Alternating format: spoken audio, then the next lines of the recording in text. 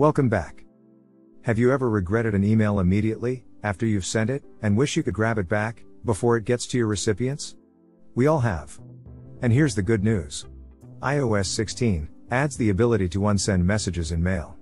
Want to know about it? Then stick till the end, and those who are watching, make sure to subscribe for more updates. Let's begin.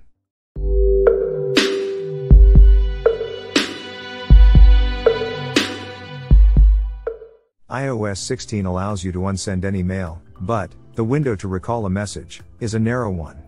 At most, you have 30 seconds.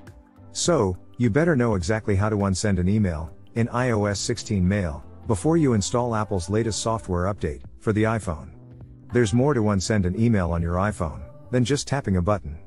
You can also set how long of a delay you want, before a message goes out, or you can turn off the unsend email feature altogether. It's simply a matter of going into the Settings app and making the right adjustments.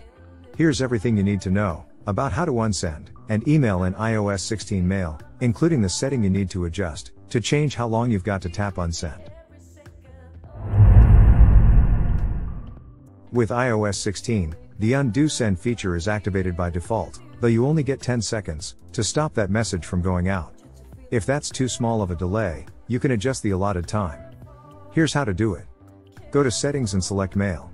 Scroll down on the subsequent screen, and select Undo Send Delay. You'll see a list of time options, with 10 seconds already selected. You can adjust the time to either 20 or 30 seconds, lengthening the amount of time you have to unsend an email, in iOS 16 Mail. If you select Off, you disable the unsend option. Now you're ready to unsend an email, in iOS 16 Mail. When you tap the send button on a composed message, you'll immediately go back to your inbox screen.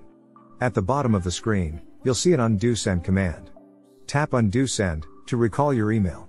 If you've successfully recalled your email, you'll go back to the email draft, where you can either make changes or discard the draft entirely. The undo send command appears at the bottom of the inbox screen for however long you've set the undo send delay in settings. And that's all there is to it. That's the video guys. Hope it is useful, and if you have any suggestions, do comment below, and don't forget to subscribe for more updates. See you in the next video, until then, goodbye.